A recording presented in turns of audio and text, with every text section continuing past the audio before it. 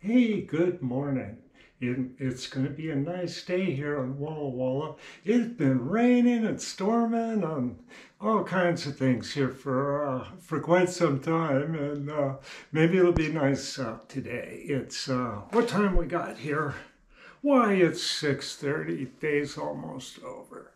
So uh, what I was going to show today is um, uh, just along uh, with what I've been doing, and uh, that's uh, working on some uh, uh, broke down garbage trucks that I bought used. and I'm setting up the wall Wohlhaupter head and this old Brown and Sharpe uh, horizontal milling machine with a vertical head. And I, I haven't uh, used this head in this machine. And uh, I thought I might show a little bit more detail on the Wohlhaupter head. And um, let's get on that. Okay, get you loose here. And it shouldn't be too far away. Here we go. Okay, I got the uh, I got the Wohlhaupter head in there. And I'm uh, um, I, I got this rigged up here. This um, this is really a nice item. This little Noga arm, and see, I've got it uh, indicator here, and I got it uh, trimmed to the table pretty good. Okay, so um, the uh, let me take that out. I'll get that little thing out of there. Uh, had to make this little brass bushing for an adapter here. I made this adapter for half inch boring bars I could use uh, in that Wally head. So I'll set this over here somewhere where I hopefully won't drop it on the floor. Okay, now one of the things I wanted to show on this head here is this the top collar. Now, if I can rotate around, now there's a notch right here, okay? Now this collar top part here swings around and uh, this pin pushes down, if I can do it. Might take my thumb. Yeah, see it pushed in, a good snap. And what that is is a safety clutch, I, I guess. Then you put your uh, stop bar in here and we'll bring that around. I'll have to reattach. You bring that around and bear it against the machine, see? And that's that's a good spot for that. It'll just uh, ride there. Okay, I'm gonna bring that back around again. And we'll get that pin where you can see it. And this side, we'll get it all together. Now right here, this plate, uh, you can set it and there's supposed to be one on the other side and I didn't get it with the head but this works just fine.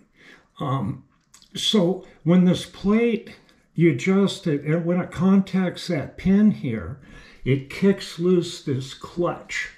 It'll push that pin up. And uh, once that happens, the collar spins and it no longer um, feeds, okay? So the other part of that I think I showed before is you take the special tool this thing, and it fits into there. And when that's uh, pushed over, let's see if I can do it like this, see? It pushes these pins out. Okay, so let's let's uh, let's feed this thing 3,000. So we'll push.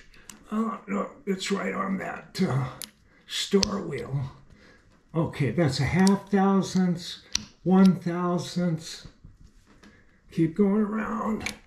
One and a half, uh, two, two and a half. Just kick another one in. Okay, that's three thousandths feet.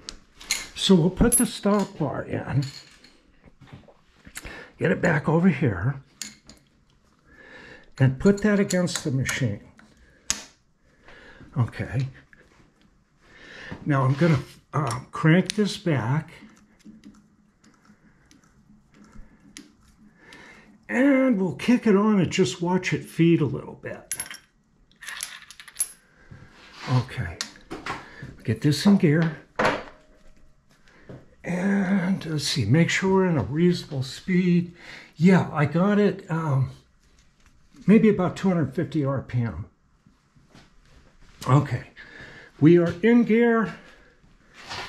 Let's go with it. I'm not in gear. There's always one thing I forget. I had it uh, in neutral here. Whoop, because uh, I wanted to pump oil in it for a while. There we go. A lot of levers, new machine to me. Okay, here we go. Okay. It's feeding.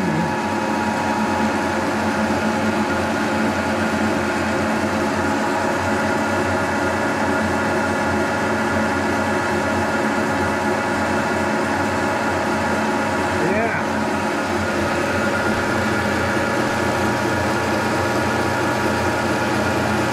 I found this head, uh, I can use it up to about 400 RPMs on most machines. And I've used this on a lot of machines. Okay, go ahead and stop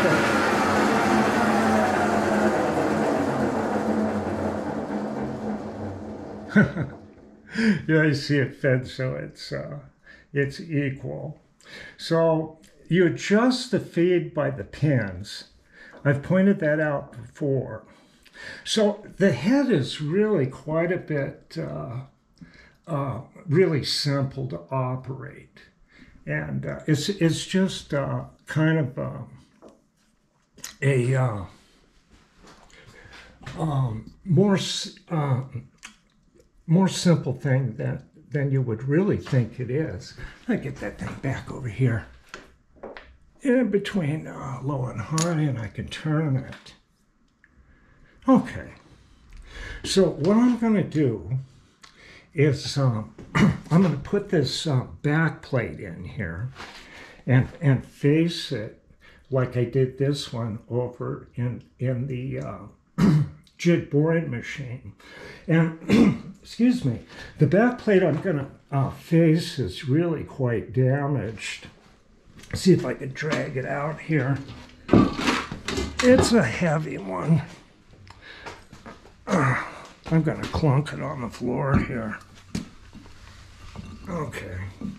Now, what I figured uh, that happened is the chuck came loose and it battered up the uh, taper here.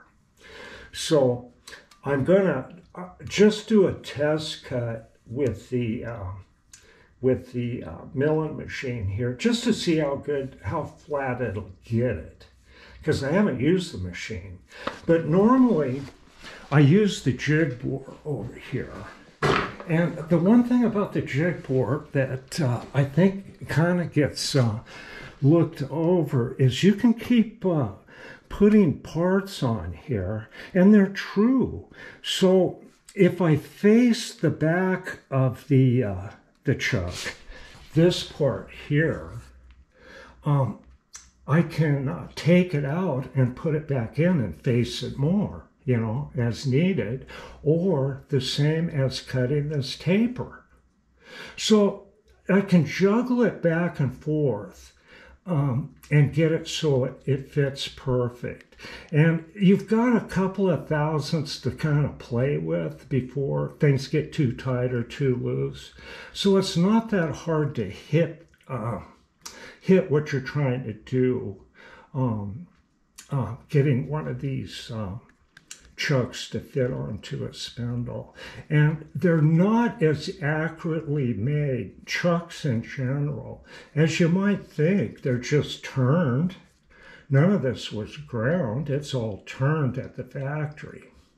And, uh, you know, there's uh, probably better quality chucks that are all precision ground, but this uh, Cushman and this uh, uh, Bison here aren't. So I think as I go along uh, with uh, repairing these chucks, I think uh, it'll become uh, become kind of uh, uh, clear that they're a lot easier to repair than a lot of people might think. And I think I can explain that. And the thing about it is, up in this country here, uh, most shops just can't afford to buy new chucks every year. So um, I think chucks are uh, more or less rebuilt in my area more than other areas where they just toss them and buy uh, new ones. But I think this is a good subject because uh, the cost of things. And uh, myself, I'm always looking to keep costs down.